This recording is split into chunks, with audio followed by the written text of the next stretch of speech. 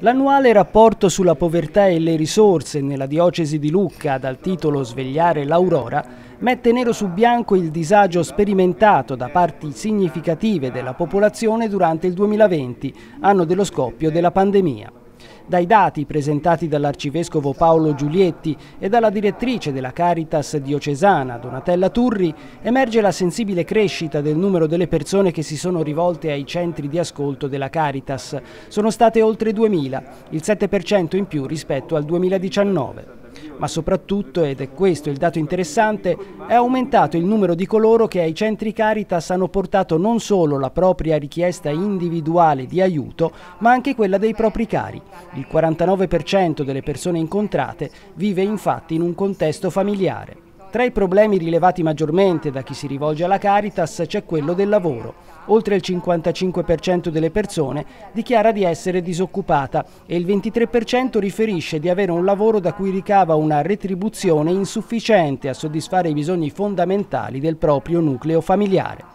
ed è cresciuto il numero delle persone che si sono rivolte per la prima volta nella loro vita ai centri Caritas. Sono state 583, oltre il 30% del totale. È questo il dato che mostra in maniera diretta l'impatto della crisi economica e sociale causata dalla pandemia. Ma innanzitutto diciamo che è un rapporto particolare perché non è solamente un rapporto quantitativo, in questi giorni anche l'Istat ha tirato fuori le statistiche sulla crescita della povertà assoluta, sulle fasce più coinvolte, ma anche un rapporto che nasce dall'ascolto, cioè dall'incontro con le persone, per cui accanto agli elementi quantitativi c'è la comprensione di una situazione, alle volte di un contesto in cui le situazioni di povertà si manifestano, quindi è molto prezioso perché ci fa capire le tendenze che stanno accadendo e in questo momento particolare è, è, è, si evidenzia che la pandemia ha sottolineato, aggravato tutta una serie di situazioni critiche a livello sociale, eh, aumentando le diseguaglianze, andando a colpire alcune fasce particolarmente fragili.